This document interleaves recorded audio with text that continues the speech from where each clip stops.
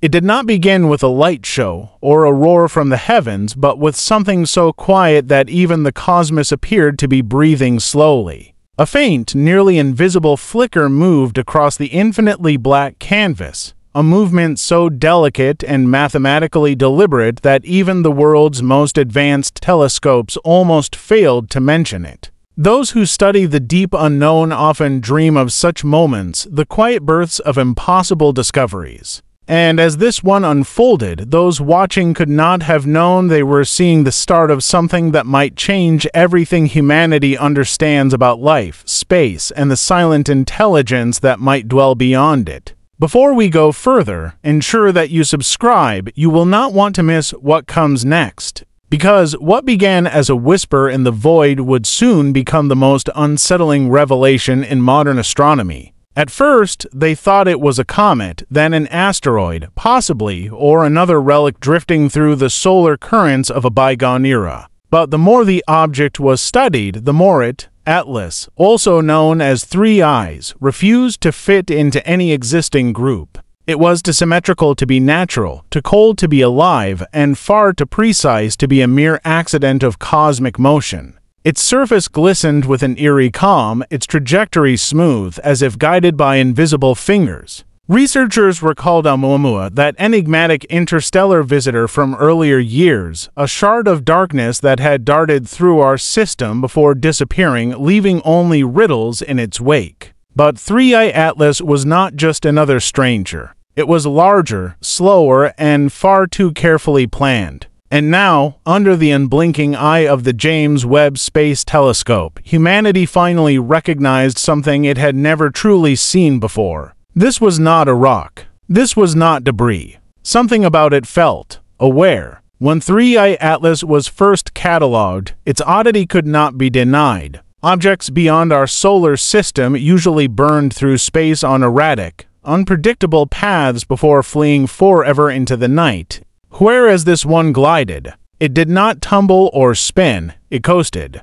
Its orbit wasn't wild or random. It was elegant, as if it knew exactly where and why to go. It curved past Jupiter with incredible accuracy, swung by Mars in perfect harmony with the physics of orbit, and drifted through gravitational corridors as though following a map older than the Sun itself. The more astronomers backtracked its origin, the more the impossible emerged. Its path through interstellar space wasn't just improbable, it was statistically impossible without guidance. Every gravitational hazard avoided, every radiation storm sidestepped. It was like watching a chess piece glide across a burning board, untouched, each move executed with intelligent grace. Someone, or something, was directing it.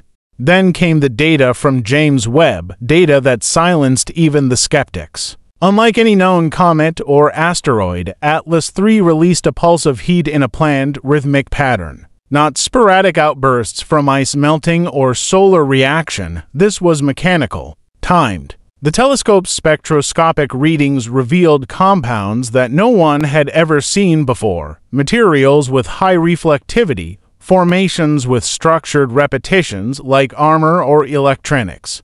Deep within, there were hollow cavities and dense geometric arrangements that gave the impression of internal design. And most unnerving of all was the signal, a faint electromagnetic heartbeat repeating every 147 seconds, matching a pulsar's rhythm. However, there was no core, no attraction, no fusion. It wasn't radiating energy, it was echoing it, mimicking it, expressing itself through imitation. When compared by researchers to previous data from Oumuamua, they shivered. The same frequency had been observed once, just before that earlier visitor disappeared into the night.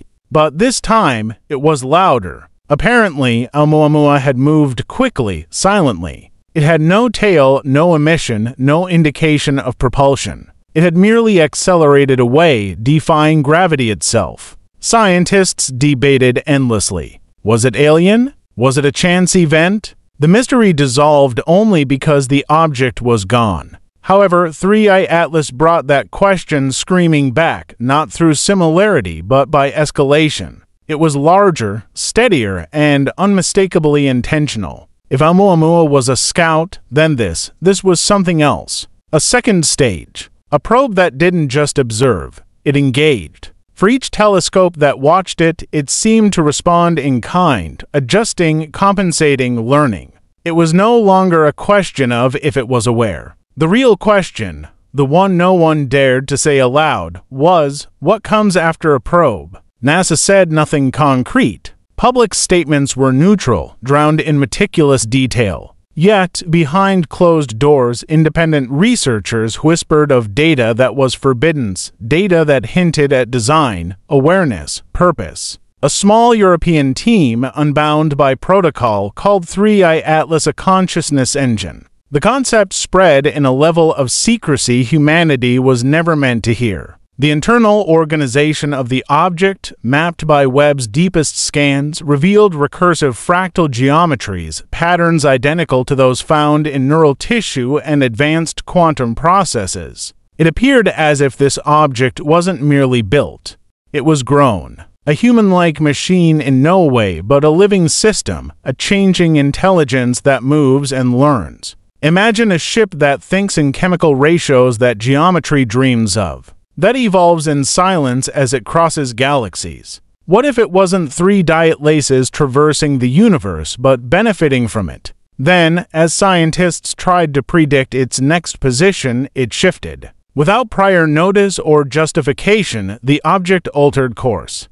Telescopes in Hawaii and across Chile caught it, a subtle, impossible maneuver but decisive. It ignored gravity, defied solar influence, and realigned itself directly toward Earth's orbital plane. The room where the first data arrived fell silent. Analysts thought it was an error. But as the data repeated, the conclusion was undeniable. Atlas III had decided to change course. Everything tank was destroyed by that chosen word. Agencies and late night meetings across the globe erupted. It was no longer behaving like an object. It was making decisions, and if it could decide, it could act. The pulse it emitted began changing too.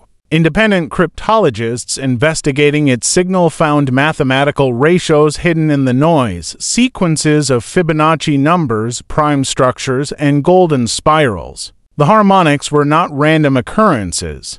They were language, ratios that underlie DNA, the spiral arms of galaxies, even the proportions of ancient temples carved long before civilization as we know it comprehended mathematics. It was as though 3 Atlas spoke in the fundamental terms utilized by the universe to construct itself. One researcher noted something terrifying. The signal pattern changed as soon as the James Webb Telescope locked onto it in infrared, as if it were aware that it was being watched, and answered in mathematics older than speech. Webb's next observations revealed complex carbon structures, polycyclic aromatic hydrocarbons, the same molecules thought to exist before life. But these weren't chaotic mixes, they were refined, arranged symmetrical, to perfect to happen by accident. Might it be that 3 Atlas was carrying the seeds of life itself, a vessel of creation instead of destruction? If that were the case, Earth was not a haphazard destination,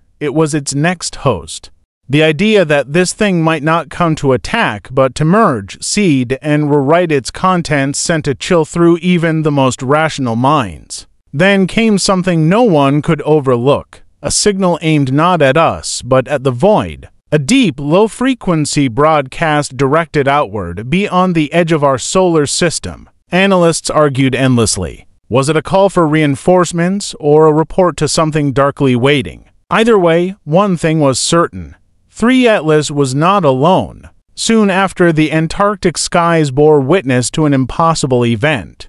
High altitude monitoring balloons detected a burst of microwave radiation directly above the South Pole. Although the burst lasted less than a second, it was powerful enough to disrupt nearby instruments. Hours later, seismic monitors across the continent began recording deep, rhythmic rumbles, frequencies identical to the object's pulse. Something beneath the ice was answering. Some believed it was coincidence. Others whispered of ancient mechanisms dormant for eons, woken by a voice from the stars. When a young analyst overlaid the trajectory of 3 Atlas with star maps dating back to the Babylonian era, something extraordinary appeared. Its path crossed sacred constellations, Orion, Draco, and the Pleiades in perfect sequence. Those intersections formed a spiral, the same spiral painted in caves, carved into bones, etched into the ruins of lost civilizations. It wasn't coincidence. It was choreography.